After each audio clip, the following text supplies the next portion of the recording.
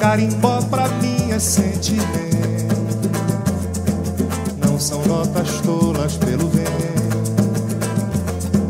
Não é moda por assim dizer. Não é só pegar tambor bater. Carimbó é sangue, bandeira do lugar. É a flor do mangue, joia por se achar.